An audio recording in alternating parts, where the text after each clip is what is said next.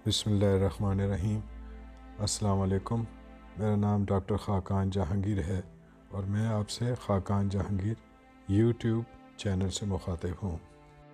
आज मैं आपको एक टॉटिकॉलिस केस रिपोर्ट के बारे में तफसील से बताना चाहता हूँ, जिनका इलाज हमारी क्लिनिक और हॉस्पिटल में किया गया। टॉटिकॉलिस एक ऐसी कंडीशन है जो कि पैदाइश के बाद भी हो सकती है और पैदाइश के बाद किसी भी उम्र में हो सकती है। गर्दन की किसी भी तकलीफ़ की वजह से गर्दन जो है वो स्पास्टिसिटी या खिंचाव की वजह से किसी भी एक साइड पर जो है खिंची हुई जा सकती है, जिसको हम टॉटिकॉलिस इस केस में कह सकते हैं। और वैसे इसकी और किस्में भी हैं, एंटीरियोकॉलिस, पोस्टीरियोकॉलिस, लेट्रिकॉलिस। कंडीशन को राई नेक या ट्विस्टेड नेक भी कहते हैं। स्पास्टिक राई नेक या स्पास्टिक ट्विस्टेड नेक की मेनली चार किस्में हैं जो कि मैं आपको बताना चाहता हूँ।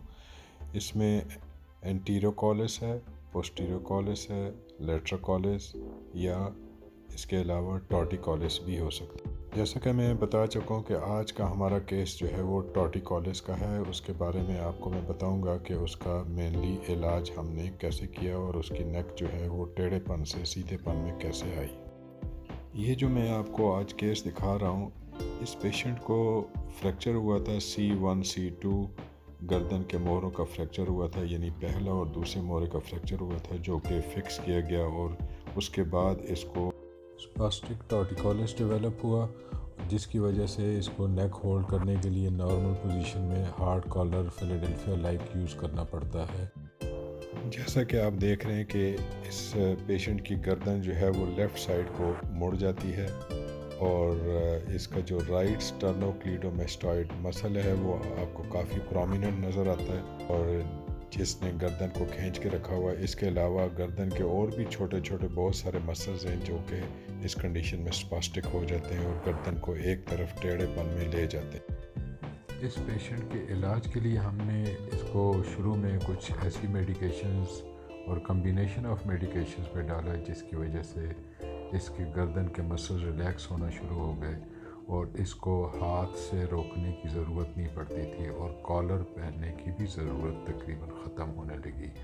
मेडिसिन के अलावा इसको हमने कुछ एक्सरसाइजेज भी बताए टॉटिकॉलिस की, जिसकी वजह से इसको काफ़ी हेल्प हुई और जो है इसकी गर्दन जो है इतनी रिलैक्स हो गई कि एक साइड पे, यानी दूसरी अपोजिट साइड पे जो है ये मोड़ सकता था।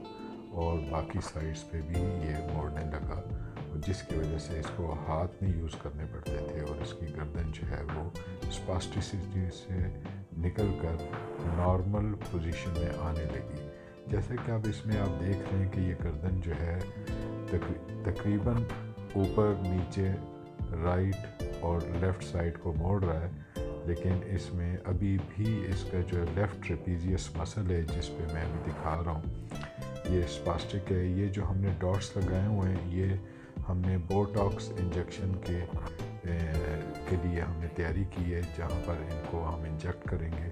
और बोटॉक्स इंजेक्शन के लगाने के बाद जो है, आप देख रहे हैं कि पेशेंट की नेक की मूवमेंट में काफ़ी फ़र्क आ गया और तकरीबन नॉर्मल हो गया गर्दन जो है ऑल अराउंड सिमेट्रिकल है। लेफ़्ट कंधे में जो ट्रिपीजियस मसल प्रोमिनेंट था, वो भी रिलैक्स हो गया है। राइट साइड पे स्टर्नोक्लीडोमेस्टॉइड मसल आपको नज़र नहीं आ रहा है, जो कि बैठ गया है। और लेफ़्ट साइड के स्टर्नोक्लीडोमेस्टॉइड मसल की तरह एक जैसा हो गया इसकी गर्दन की मूवमेंट काफ़ी ज़्यादा हो गई है।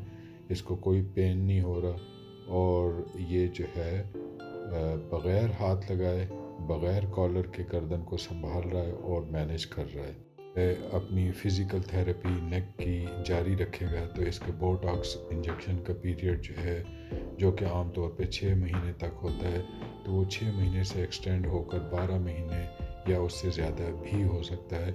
जिसके बाद इसको अगर बोटॉक्स की ज़रूरत पड़ेगी भी तो डोज जो है, पहली डोज से जो है कम होनी चाहिए।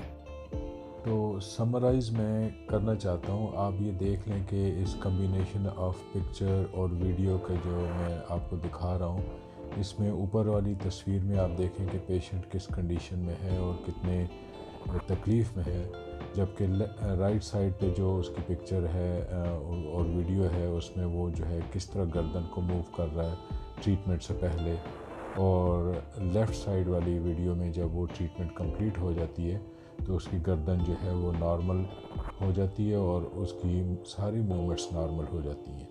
तो हमने इसमें कोई ऑपरेशन नहीं किया सिवाय इसके कि जो है जब फ्रैक्चर हुआ था तो इसका हमने वर्टिब्रे फिक्स किए थे। उसके बाद जो है स्पास्टिक मसल्स के लिए कोई ऑपरेशन नहीं किए और उसको जो है मेडिकेशन से फ़िज़िकल थेरेपी से कॉलर से और बोटॉक्स इंजेक्शन से हमने मैनेज किया। जिससे उसकी जो है, उसका फ़ंक्शन गर्दन का बिल्कुल नॉर्मल हो गया और वो अपनी जो है नॉर्मल रूटीन में लाइफ गुजारने लगा। अगर आपने कुछ सवाल पूछने हो तो आप मुझे व्हाट्सएप या ईमेल पर रबता कर सकते हैं। थैंक यू वेरी मच अस्सलाम